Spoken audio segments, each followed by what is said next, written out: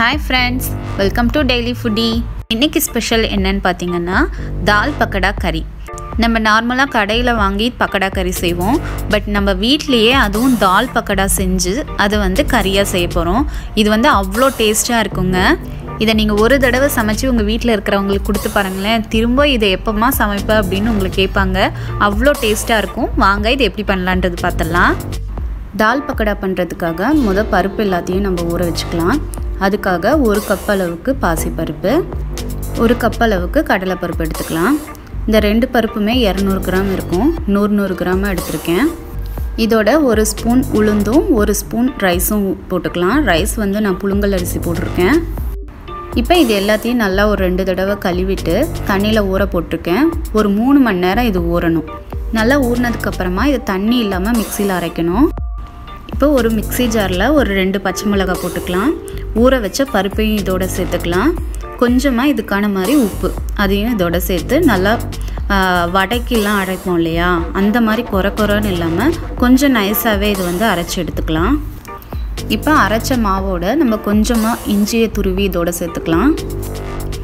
பக்கடானாலே onion தான். அதுக்காக ஆனியனை வந்து நீட்ட நீட்டமாக கட் பண்ணி இதோட சேர்த்துக்கலாம். கொஞ்சமாக கொத்தமல்லி தலை அதையும் இதோட சேர்த்துக்கலாம். இப்போ நம்ம போட்ட ஐட்டம் எல்லாத்தையும் இந்த மாவோட நல்லா பிசைஞ்சு விடுங்க.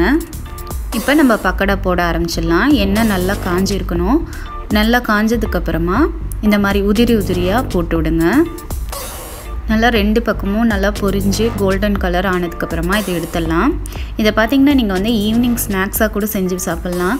நார்மல் பக்கடாவை விட இது வந்து அவ்வளோ டேஸ்ட்டாக இருக்குங்க. உடம்புக்கும் ரொம்ப ஹெல்த்தி நம்ம பருப்பெல்லாம் சேர்த்துருக்கறனால இதே மாதிரி எல்லா பக்கோடாவையும் நம்ம வந்து முத பொரித்து எடுத்துக்கலாம். அதுக்கப்புறம் இப்போ கிரேவி செய்ய ஆரம்பிக்கலாம். இப்போ ஒரு கடாயை நல்லா ஹீட் பண்ணிவிட்டு இதில் வந்து நான் நல்லெண்ணெய் ஊற்றுறேன் எண்ணெய் நல்லா காஞ்சதுக்கப்புறமா ரெண்டு பிரிஞ்சி இலை ஒரு பட்டை ரெண்டு ஏலக்காய் மூணு லவங்கம். இது எல்லாத்தையும் நல்லா சேர்த்து பொரிய விடலாம். இப்போ அஞ்சாறு பல் பூண்டை வந்து நான் நசுக்கி வச்சுருக்கேன். அதையும் ரெண்டு பச்சை மிளகாவையும் இதோடு சேர்த்து வதக்கிக்கலாம். ஒரு பெரிய வெங்காயம் கொஞ்சமாக கருவேப்பிலை. அதையும் இதோடு சேர்த்து நல்லா வதக்கி விடுங்க. வெங்காயம் ஓரளவுக்கு நல்லா வதங்கினதுக்கப்புறமா ரெண்டு மீடியம் சைஸ் தக்காளி. அதை இதோடு சேர்த்து நல்லா வதக்கலாம். வெங்காயம் தக்காளி ரெண்டுமே வந்து நல்லா குழஞ்சி வரணும். அந்த அளவுக்கு வதக்கலாம்.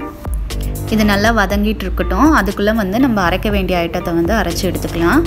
அதுக்கு அதுக்காக ஒரு அஞ்சு டேபிள் ஸ்பூன் அளவுக்கு தேங்காய் பூ எடுத்திருக்கேன். ரெண்டு டேபிள் ஸ்பூன் அளவுக்கு பொட்டுக்கடலை. அதுக்கப்புறம் ஒரு ஸ்பூன் அளவுக்கு சோம்பு. இது எல்லாத்தையும் நம்ம வந்து இப்போ பேஸ்ட்டாக அரைச்சி எடுத்துக்கலாம். இப்போ பாருங்கள் நம்ம போட்ட வெங்காயம் தக்காளி நல்லா வதங்கிடுச்சு. இப்போ இதோட கொஞ்சமாக மஞ்சத்தூள் ஒரு ஸ்பூன் மிளகாத்தூள் ரெண்டு ஸ்பூன் தனியாத்தூள் சேர்த்துக்கலாம். சின்ன ஸ்பூனில் ஒரு முக்கால் ஸ்பூன் அளவுக்கு நான் கரம் மசாலா போட்டிருக்கேன். இப்போ இது எல்லாத்தையும் கொஞ்சம் மசாலா வாடெல்லாம் போகிற அளவுக்கு நல்லா வதக்கி விடுங்க. தண்ணி எதுவும் சேர்க்க வேணாம் இந்த டைமில். ஒரு அஞ்சு நிமிஷம் இந்த மாதிரி நல்லா வதங்கினதுக்கப்புறமா நம்ம அரைச்சி வச்ச பேஸ்ட்டை இதோடு சேர்த்துக்கலாம். இது எல்லாத்தையும் ஒரு தடவை நல்லா கலந்ததுக்கப்புறமா இந்த கிரேவிக்கு தேவையான அளவு தண்ணி ஊற்றிக்கலாம் தண்ணி பார்த்திங்கன்னா நல்லா நிறையா சேர்க்கணும். ஏன்னா பக்கடா சேர்க்கும்போது இந்த கிரேவி வந்து திக்காக ஆரம்பிச்சிடும் அதனால் நல்லா லிக்விடாக எவ்வளோ தண்ணி ஊற்றுறீங்களோ ஊற்றுங்க சரிங்களா? கூடவே இதுக்கு தேவையான அளவு உப்பும் போட்டுக்கலாம்.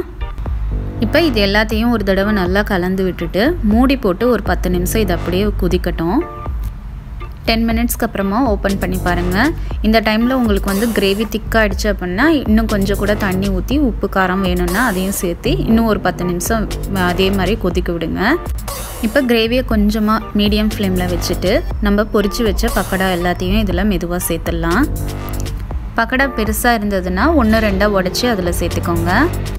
இப்போ இது எல்லாத்தையும் சேர்த்ததுக்கப்புறமா ஒரு தடவை கலந்துட்டு திரும்பவும் ஒரு ரெண்டு நிமிஷம் இது வந்து மூடி போட்டு அப்படியே வேக விடுங்க. இப்போ பாருங்கள் கம கமன்னு பக்கடா கறி வந்து செமையாக ரெடி ஆயிடுச்சு. இது ரைஸோட அதுக்கப்புறம் சப்பாத்தி தோசை பூரி கூட இது வந்து அவ்வளோ டேஸ்ட்டாக இருக்குங்க. கண்டிப்பாக ட்ரை பண்ணி பாருங்கள் இந்த வீடியோ பிடிச்சிருந்தால் லைக் பண்ணுங்கள் share comment and subscribe thank you